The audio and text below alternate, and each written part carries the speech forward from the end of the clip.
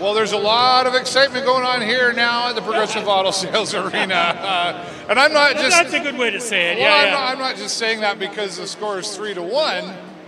Um, it's been a couple of interesting hits out there. Oh, yeah, it's it's uh, Let's it's talk. te- testy. Well, let's talk about the hit on our guy. Yeah, yeah. Uh, you know what? Uh, This is one. uh, It's a new call. I mean, I, I mean, this is fairly recent that I think the refs are really starting to pay a little more attention to this thing called the blindside hit. You know, and that whole blindsiding penalty. I, I'm not sure I quite fully understand it. Kind of like the shots on goal thing, and I'll I'll go on about it forever if you let me. But you know what? I, I you know, if the guy's not paying attention, you know, we used to say, well, suck it up because if you're not paying attention, you're going to get creamed and then it's never good, right? So you got to be pay attention. It's the game, right?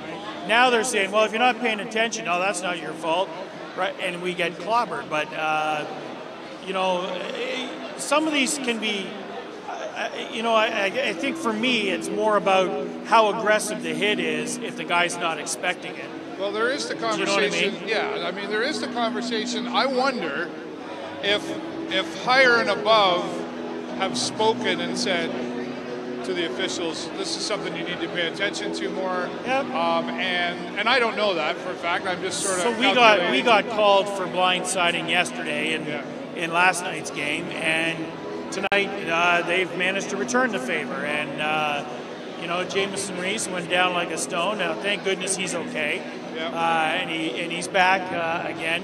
And he's only just back again because he's been out of the lineup for Yeah. for a bit. You know, you don't want you don't want to take uh, have too many. ga- Like he's a guy we don't want to be without for the playoffs. I would I would think most would agree with that. Yeah. So uh, anyway, but yeah, I think it's an interesting call. right? And I mean, uh, you know, and their guy was, uh, you know, sent away. Yep, and, yep, and, yep. and, and, and everything rightfully so on that.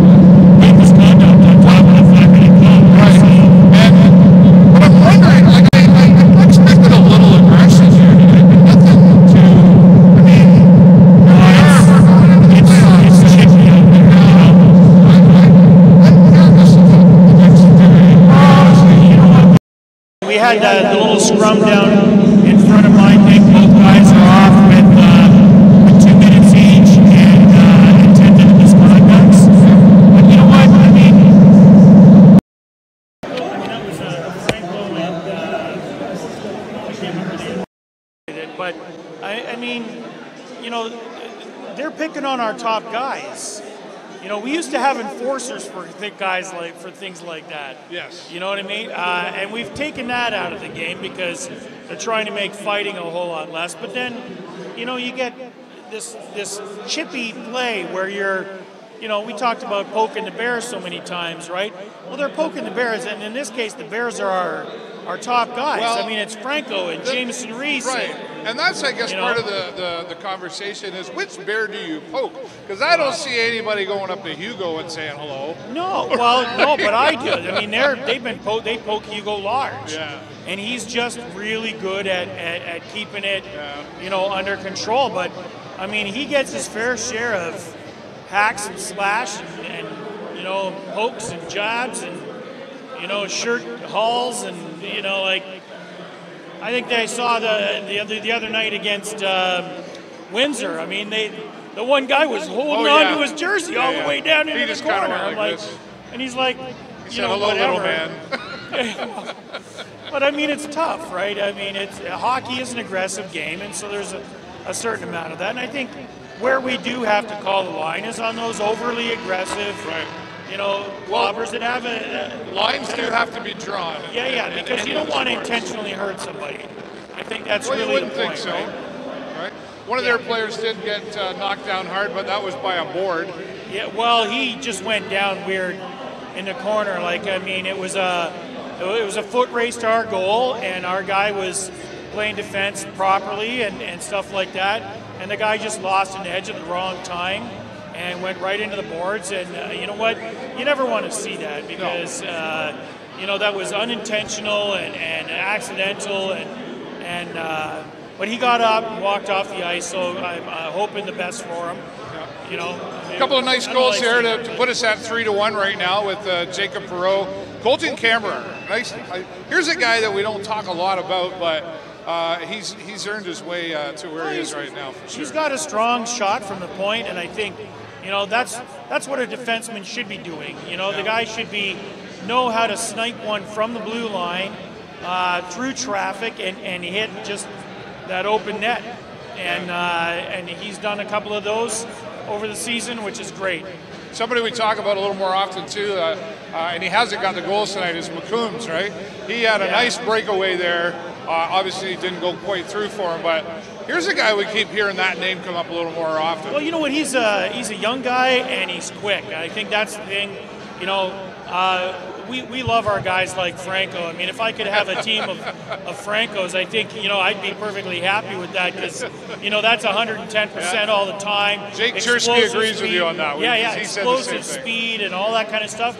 And I think we see elements of that in McCombs. He's still young yet, uh, and hopefully as he develops, I'm hoping that some of those uh, those elements of his game come, uh, come you know, get developed with it, right? Because yeah. that that speed and that ability to uh, create opportunities. Those are all good things to have, and we see that right now in Justin McCombs. So uh, I like it. Are you paying attention to the bench much? Are you seeing seeing? Uh, uh, uh I wish I could read lips. yeah, you know what? There's certainly lots and lots of uh, cussing going on out there for sure. But I'm not watching the bench. I, what I am watching is shots on goal. I mean, 29 to 12 yeah. You know, this is what we want to see happen. This is where we should be, right?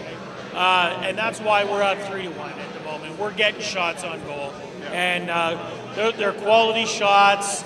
Uh, lots of engagement in the forward zone. I, you know what, I love it. We're moving the puck well. Uh, we're, we're catching some of those stretch passes and creating a lot of odd man rushes, which is fun. Uh, and I think that's why we're ahead. Yeah, for sure.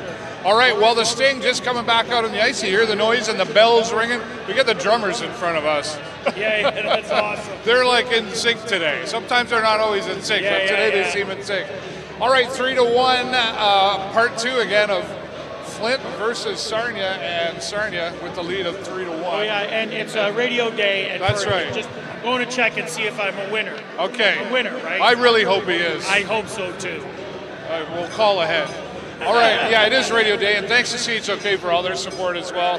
And uh, if you wanted the play-by-play, tune in to CHOK.com online. You can listen, or uh, 103.9 FM, 1070 AM, CHOK. All right, we'll be live post-game, as always. Depending on what happens, you never know who you're going to get.